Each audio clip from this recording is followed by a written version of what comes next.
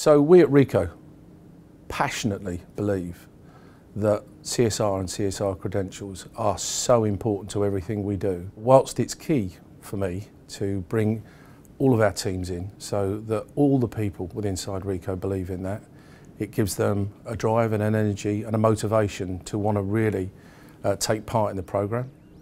We find that clearly um, we get some great ideas out of that, some best practices that we can use in our new lines of service that we're offering to our clients.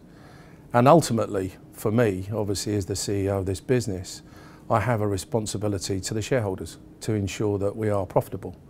And all of what I've just said um, brings with it a tremendous amount of opportunity to improve the bottom line. Uh, so in a very ethical and sustainable manner. One of our corporate clients currently, we're working on with a project, their travel budget is over 100 million a year. And we've committed that we will help them reduce that by at least 1% in the first phase.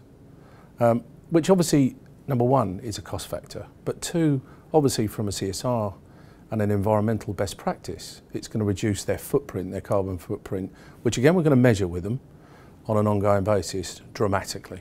Again, this, that's just one example where we can work uh, in a consultative manner with, uh, with, these, with these companies and we're offering something different. We're offering advice and best practice that people can put into place to really make them more sustainable long term.